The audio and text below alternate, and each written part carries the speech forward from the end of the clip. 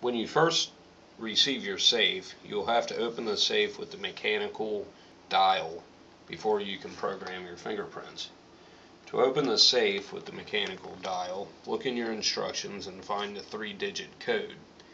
Once you have the three digit code, follow these steps.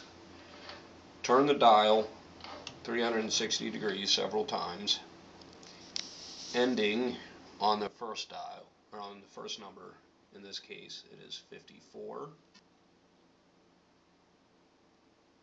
And then you will need to turn it counterclockwise to the next number. In this case, it's 97, making sure that you turn it at least 360 degrees before you end on the 97 and then just simply turn it back clockwise until you reach the third number, which is 23 in this case.